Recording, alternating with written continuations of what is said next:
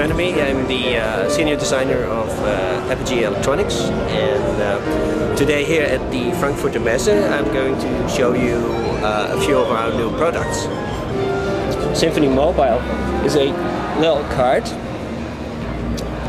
this size, it's an express card which will fit in your MacBook Pro and this is a continuation of uh, the Symphony format that, that we introduced last year we already had a PCIe and a PCI Express card for the G5 and the, uh, Mac Pro. So, but now we're also releasing this like semi-portable version. Um, this will allow you 32 channels of in and out, at 20 up to 24-bit, 192K.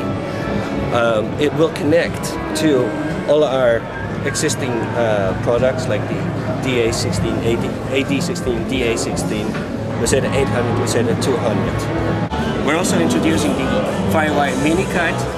Um, the, our mini series was uh, has been able to uh, uh, accommodate a USB card for uh, quite some time, but now we also have a FireWire card which will go in the same slot.